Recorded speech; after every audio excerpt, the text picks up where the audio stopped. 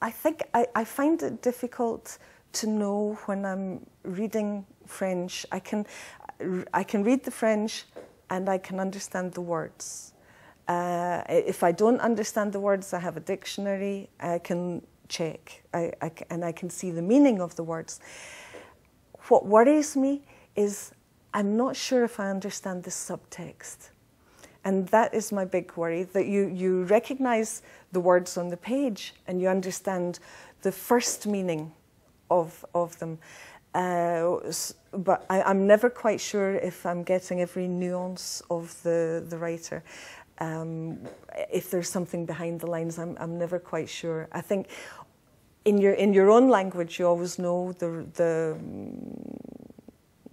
the full meaning the, the of a of a story, but in in another language, there is always that worry that you're not getting everything. Um, but undoubtedly, to see the writer's style in their own language is very important because a translator, normally a translator, puts their style, their mark on the the text that they write, and so you never get to see you, you're seeing the translator's style, not the original writer's style. So I think it's always important, if you can, to see the words that the, the writer actually chose. In, to go back to um, plays, speaking about plays, uh, Chekhov was always labelled as a, his plays were always labelled as comedies.